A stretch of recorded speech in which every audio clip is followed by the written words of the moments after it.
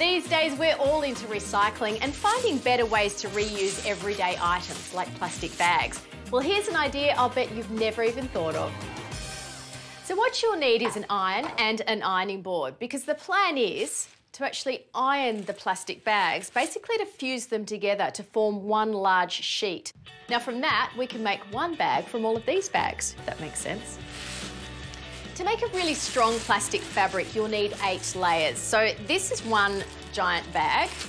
So there we go, we've already got two layers there. So if I fold that in half lengthwise, that immediately gives me four layers. And if I just repeat the same with the other bag and lay it on top, that's all I need.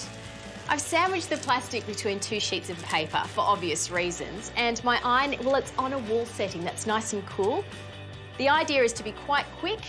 Just work down one side of the plastic, flip it over and do the same for the other side.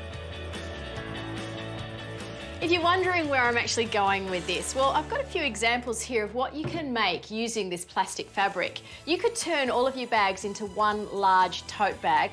You could make makeup bags, which are great because they're waterproof, pencil cases for the kids, even little pouches for your picnic cutlery. Got quite a long piece of fabric here, so I'm making my tote 56 centimetres and also combine different colours. Once everything's cut, you'll need to start sewing it together. The first thing you need to sew is the pocket, because that goes on the outside, of course. With the pocket on, now the other pieces just get stitched together, basically to form the bag. Make sure it's inside out. Okay, so that's the basic loop of the bag all sewn together. Now, a neat way to do the base is to stitch straight across the bottom and then also sew a triangle on either side. Now just cut the excess off the corners, just do a nice neat line. Turn the bag out the right way, and then you can add your handles. Nice sound, huh?